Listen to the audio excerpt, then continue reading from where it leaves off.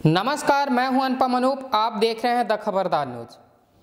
उत्तर प्रदेश के लखनऊ के चार बाग रविंद्रालय में बुधवार के दिन राष्ट्रवादी कांग्रेस पार्टी के राज्य स्तरीय प्रतिनिधि सम्मेलन में राष्ट्रीय अध्यक्ष व पूर्व केंद्रीय मंत्री शरद पवार को पार्टी के कार्यकर्ताओं द्वारा सम्मानित किया। राष्ट्रवादी कांग्रेस पार्टी एनसीपी के राष्ट्रीय अध्यक्ष व पूर्व केंद्रीय मंत्री शरद पवार ने कहा कि महाराष्ट्र की तरह यूपी और अन्य राज्यों में भी विपक्षी दलों को एकजुट होकर भाजपा सरकार को सत्ता से बेदखल किया जाएगा और इसके साथ ही साथ उन्होंने कार्यकर्ताओं के उत्साहवर्धन के लिए भी कई महत्वपूर्ण बातें कही। अधिक जानकारी के लिए आइए देखते हैं लखनऊ से हमारे रिपोर्टर विकास रावत की रिपोर्ट। देखते रहिए द खबरदार न्यूज़। सीए, एनआरसी, एनपीआर, ये सब बातों को लेकर आज देश पूरा भड़का हुआ। पढ़े लिखे लोग, सुलझे हुए लोग, समझदार आज इसके खिलाफ में बोलने लगे। ये केवल राजनीति का लड़ाई नहीं रही है, ये सामान्य आदमी की, आम नागरिक की लड़ाई आज सीए एनपी उन्नीस दो हज़ार चौदह के बाद धीरे धीरे एक और जब तक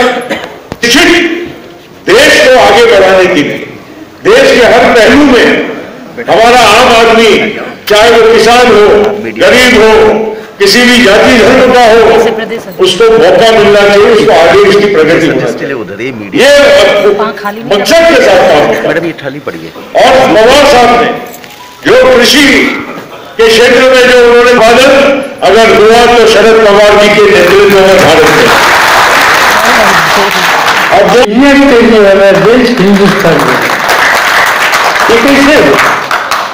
ये इसलिए हुआ कि इस देश से धरती प्रचार करने वाले किसानों ने रात दिन मेहनत करके खून पसीना देके देश की भूख की समस्या दूर करने के लिए मेहनत की और इसलिए आज देश में भी परिस्थिति बन गई।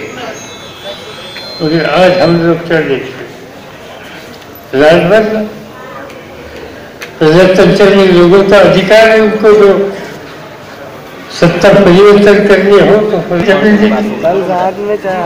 इसे एक ही बात है सरकार सभी वर्गों का सभी मज़हब का सभी भाषा बोलने वाला सभी समाज का जो हुकूमत होती है ये ज़िम्मेदारी भूलकर जब समाज के कुछ वर्गों की हितों की रक्षा करना ही हमारा फ़र्ज़ है।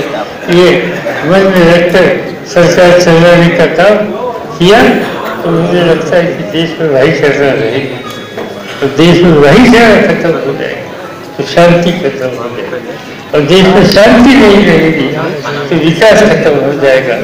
और आज उस रास्ते से हमें देश को बचाना है।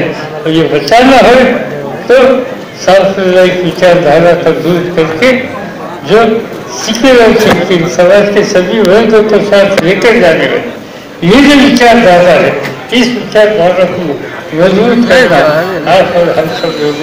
खबरदार हिंदी न्यूज़ चैनल के साथ जुड़े रहने के लिए the Khabardar Hindi news channel को लाइक करें शेयर करें सब्सक्राइब करें। और अगर आप ये वीडियो फेसबुक पर देख रहे हैं तो फेसबुक पेज को लाइक करें। धन्यवाद।